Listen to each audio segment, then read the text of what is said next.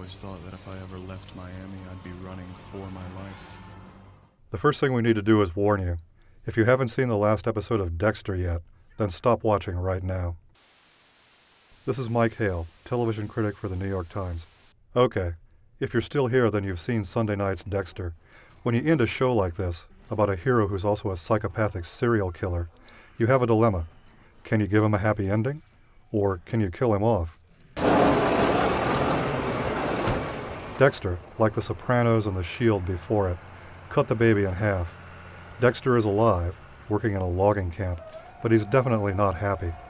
He fakes his own death rather than flee the country with his son and his girlfriend because he knows that he'll still be dangerous if they're together. And in his final stare at the camera, it seems clear that there is no redemption. He's still a killer and always will be. What was most interesting about the Dexter finale was that for a lot of fans, Dexter's fate will almost be an afterthought.